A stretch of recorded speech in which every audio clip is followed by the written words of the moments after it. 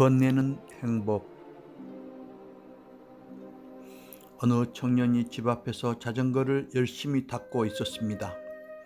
그때 지나가던 한 소년이 발걸음을 멈추고 곁에서 계속 호기심 어린 눈으로 구경하고 있는 것이었습니다. 소년은 윤이 번쩍번쩍 나는 자전거가 몹시 부러운 듯 청년에게 물었습니다. 아저씨, 이 자전거 꽤 비싸게 주고 사셨지요? 그러자 청년이 대답했습니다. 아니야, 내가 산 게 아니고 우리 형이 사 주셨어. 아, 그래요? 소년은 매우 부러운 소리로 대꾸했습니다. 청년은 자전거를 닦으면서 이 소년이 틀림없이 나도 자전거를 사주는 형이 있으면 얼마나 좋을까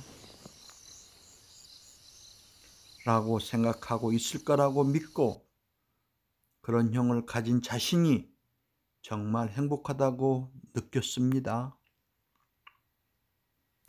그래서 청년은 소년에게 다시 너도 이런 자전거 갖고 싶지? 그러자 소년은 이렇게 대답하는 것이었습니다. 아니요.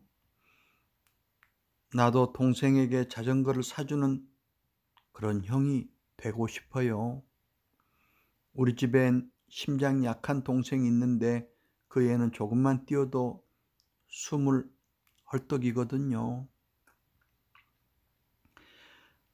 나도 내 동생에게 이런 멋진 자전거를 사주고 싶은데 돈이 없어요.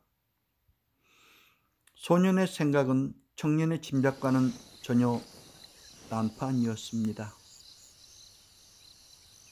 그 소년은 보통 사람들과 다른 목표를 가지고 있었던 것입니다. 많은 사람들이 자전거를 받는 소원을 가지고 살아가는데 반해 그 소년은 자전거를 주는 소원을 가지고 살았던 것입니다. 늘 도움받는 동생이 되고픈 사람이 있고 도움 주는 형이 되고픈 사람이 있습니다.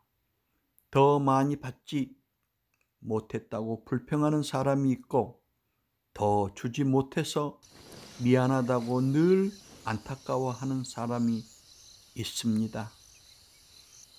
33세 백만장자가 된 록펠러는 43세 미국 최대 부자가 되었고 53세 세계 최대 갑부가 되었지만 그는 행복하게 하지 않았다고 합니다. 이제 몇 년 이상 살지 못한다는 사형 상고를 받고 병원 노비에 걸린 액자의 글이 눈에 들어왔다고 합니다. 주는 자가 받는 자보다 복이 있다. 사도행전 20장 35절 그 글을 보는 순간 마음속에 전율이 일고 눈물이 났습니다.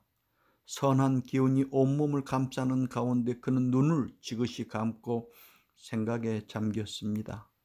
조금 후 시끄러운 소리에 정신을 차리게 되었는데 입원비 문제로 다투는 소리였습니다.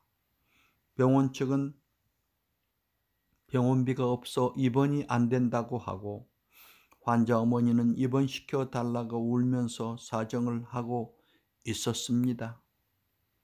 록펠러는 곧 비서를 시켜 병원비를 지불하고 누가 지불했는지 모르게 했습니다. 얼마 후 은밀히 도운 소녀가 기적적으로 회복이 되자 그 모습을 조용히 지켜보던 록펠러는 얼마나 기뻤던지 나중에 자서전에서 그 순간을 이렇게 표현했습니다. 저는 살면서 이렇게 행복한 삶이 있는지 몰랐습니다. 그때 그는 나눔의 삶을 작정합니다. 그와 동시에 신기하게 그의 병도 사라졌습니다. 그 뒤 그는 98세까지 살며 선한 일을 행하고자 힘썼습니다. 나중에 그는 회고합니다. 인생 전반기 55년은 쫓기며 살았지만 후반기 43년은 행복하게 살았다고. 그렇습니다. 주는 것이 받는 것보다 복 됩니다. 내가 무엇을 받으려고 하는 생각보다 무엇을 주려고 하는 생각을 먼저 하는 복된 한 해가 되는 넉넉하고 멋진 삶이 되시길 바랍니다. 건강 지키시며 섬기고 나누는 나날이 되는 복된 삶을 기원합니다. 모두 행복하시고 감사합니다. 어제까지 어, 일본은 눈이 내리고 아주 추웠는데 또 오늘은 아주 따뜻한 또 봄 날씨가 주말에 또 왔네요. 자, 여러분들에게도 건강한 하루 매일매일 되시길 바랍니다.